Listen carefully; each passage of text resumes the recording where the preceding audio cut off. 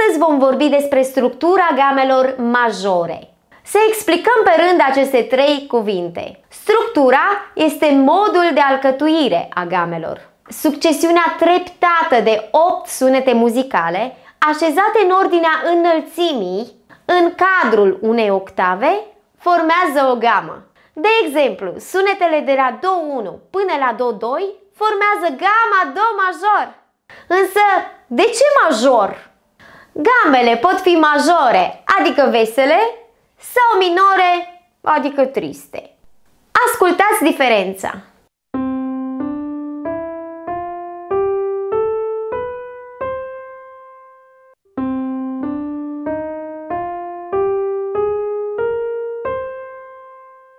Pentru ca o gamă să sune vesel, trebuie să aibă o anumită ordine a tonurilor și semitonurilor. Tonul reprezintă distanța mare între două sunete alăturate, de exemplu între Do și Re, deoarece între aceste două clape există și clapa neagră numită Do diez. Iar semiton este distanța mică dintre două sunete, de exemplu între Mi și Fa, între care nu există nicio clapă.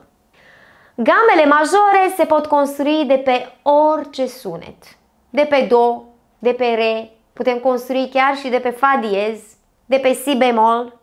Însă gama Do major, Do, Re, Mi, Fa, Sol, La, Si, Do, este gama model după care construim toate celelalte game.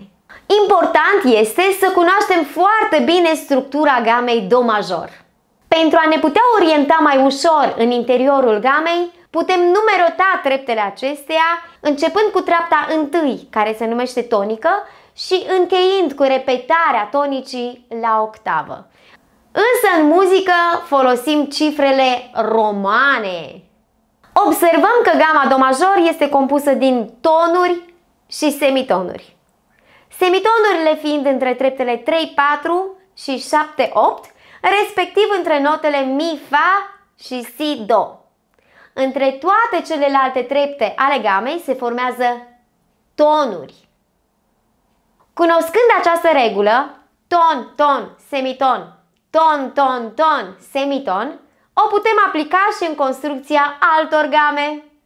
De exemplu, sol major. Primul pas în construcția gamelor este să începem cu tonica, sol în acest caz, apoi să scriem sunetele naturale până ajungem la repetarea tonicii, adică din nou nota sol, la octavă.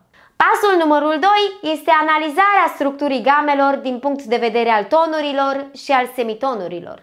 În cazul gamei sol major, observăm că semitonurile se formează între 3-4 și 6-7, ceea ce duce spre această sonoritate.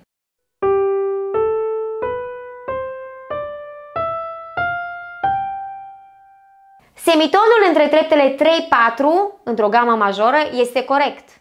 Incorect este cel format între treptele 6-7. Aici va trebui să aducem o modificare spre a forma semitonul între treptele 7-8. Modalitatea prin care putem urca treapta a șaptea, apropiind-o de treapta a opta, este prin alterarea sunetului Fa, cu ajutorul diezului. În acest fel vom forma semiton între treptele 7-8, respectiv între notele Fa diez și Sol. Iar gama sol major sună așa.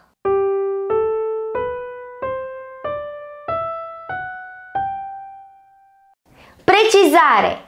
Singura gamă majoră care este construită din sunete naturale, adică nu are niciun diez și niciun bemol, este Do major. Orice altă gamă am construit va avea cel puțin un diez sau un bemol. Următorul exemplu este gama Fa major. Reluăm procedeul. Pasul numărul 1. Scriem gama începând cu tonica și terminând cu repetarea acesteia la octavă, folosind în primă fază doar sunete naturale. 2. Analizăm structura gamei, adică ordinea tonurilor și semitonurilor. Și observăm că folosind sunete naturale, semitonurile se formează între treptele 4-5 și 7-8.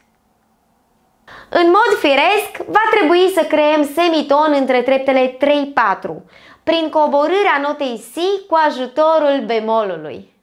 Astfel vom crea între notele La și Si bemol semiton, exact între treptele 3, 4. În concluzie, Cunoașterea gamelor reprezintă un pas important în înțelegerea tonalităților în care sunt scrise melodiile. Notele utilizate fiind exact cele care intră în alcătuirea gamei. Concret, dacă o melodie nu are nicio alterație, mai mult ca sigur că este scrisă în tonalitatea Do major.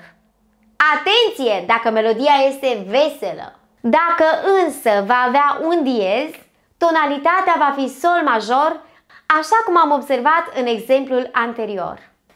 Pe curând!